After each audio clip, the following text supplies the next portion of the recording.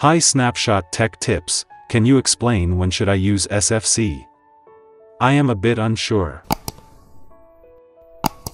If your Windows programs are being crashing, or you're being getting an error message that DLL file was missing, or you being get experience the dreaded blue screen of death.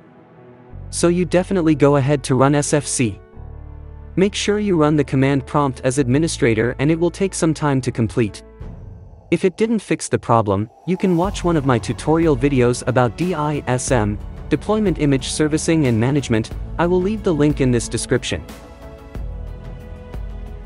Once SFC has finished scanning, you'll see a message.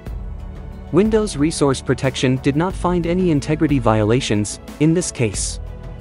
This mean that your system files are okay, there was no issue related.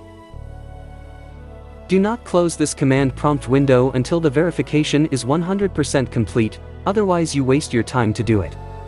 To resolve this problem, perform the system file checker scan in safe mode.